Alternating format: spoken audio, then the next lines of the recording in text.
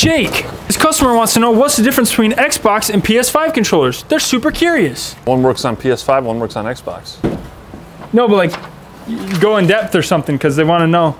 That's it? It's the only thing? Stop.